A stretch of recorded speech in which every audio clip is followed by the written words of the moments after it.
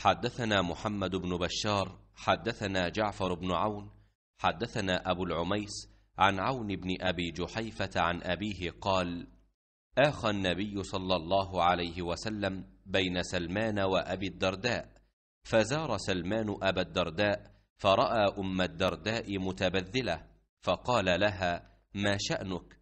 قالت أخوك أبو الدرداء ليس له حاجة في الدنيا.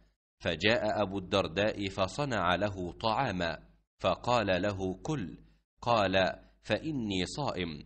قال ما أنا بآكل حتى تأكل فأكل. فلما كان الليل ذهب أبو الدرداء يقوم. قال نم. فنام ثم ذهب يقوم فقال نم. فلما كان من آخر الليل قال سلمان قم الآن فصليا.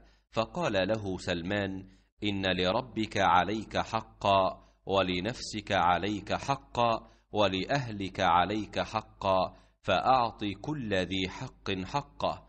فأتى النبي صلى الله عليه وسلم فذكر ذلك له فقال النبي صلى الله عليه وسلم صدق سلمان.